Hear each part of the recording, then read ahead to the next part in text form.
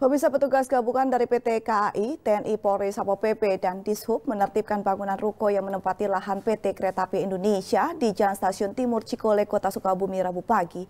Selama ini ruko tersebut pemirsa disewa sejumlah pedagang untuk berjualan. 77 bangunan ruko di lahan PT Kereta Api Indonesia dibongkar petugas gabungan. Satu persatu bangunan yang berdiri di emplacement stasiun Sukabumi tersebut dibongkar petugas dengan menggunakan dua unit ekskavator. Pembongkaran bangunan di lahan PT KAI itu dilakukan tanpa perlawanan para pedagang. Meski berjalan relatif aman, 200 petugas gabungan dikerahkan mengawal pembongkaran ini.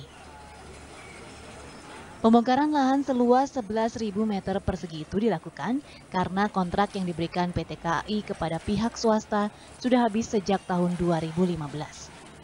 Kereta api sudah melalui prosedur, sudah mengingatkan eh, dengan surat pemberitahuan 1, 2, 3, tidak ada etikat baik untuk berkoordinasi dengan kereta api. Oleh karena untuk menyelesaikan masalah ini. Oleh karena itu pada saatnya sekarang kita sudah koordinasi seluruh kewilayahan baik itu dari Polres, Kodim, Wali Kota, jajaran apa, termasuk pendukung pemadam kebakaran, yang lain semuanya hari inilah dilakukan. Setelah ditertibkan, rencananya di atas lahan tersebut akan dibangun kembali kawasan perdagangan. Budi Setiawan, Bandung TV.